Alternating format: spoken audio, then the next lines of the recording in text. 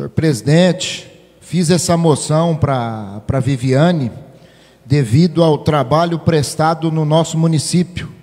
Certo? Com um currículo desse não tem nem o que dizer, Viviane.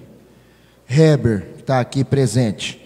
É uma pessoa que, desde quando esteve à frente desses cargos, todos que foram lidos aqui, sempre prestativa, sempre com serenidade, sempre é, atendendo as demandas que a gente é, chegava a pedir para você.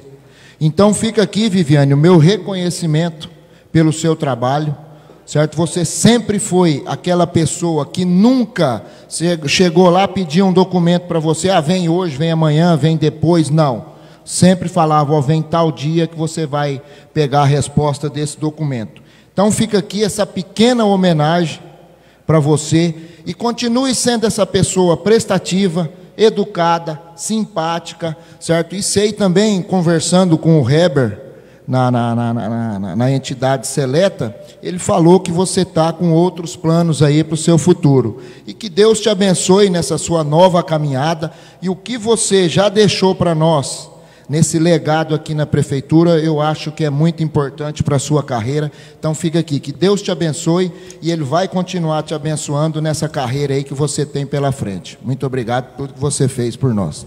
Na fala do presidente, eu quero agradecer a todos pelo carinho das palavras que foram dirigidas a mim e fico muito feliz de entender que a Casa de Leis reconhece o trabalho de um servidor público municipal que é fiscalizado justamente pelos senhores.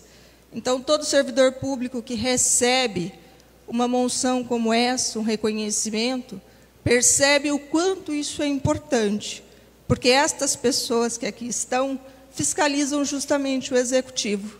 Então, quando elas agraciam alguém com esta moção, significa dizer que o trabalho foi realmente bem feito. Então, a todos os senhores, o meu muito obrigado, ao Fabiano em especial pela propositura, mas fico muito feliz em deixar a pasta sabendo que atendi às expectativas, tanto do município como servidora pública, mas também como os senhores vereadores, porque todas as vezes que nos procuraram foram atendidos. Então, muito obrigada.